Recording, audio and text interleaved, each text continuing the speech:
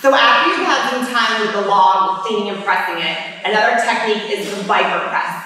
It's a one motion, it's great to use in warm-ups. You would use it in a contest if the weight was light enough for you.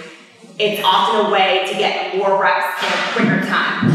This really hones in on that triple extension movement I was talking about.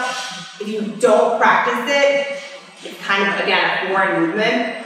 So what I'm gonna do is I'm gonna start, you start the same way with the windows of the log facing out. I'm taking out the part where I sit with it and get low, and again, I'm just going right up overhead. Same time. So start arms straight, lats locked in,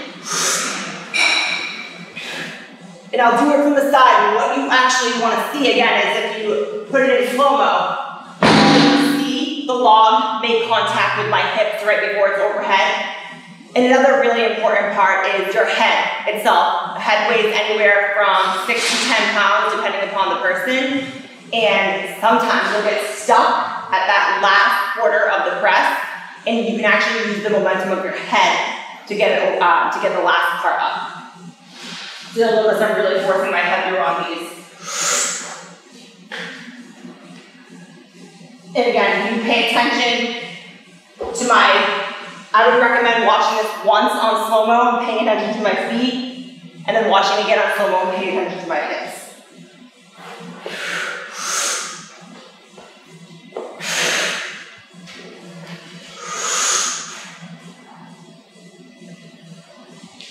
And you'll notice I'm going on my tiptoes.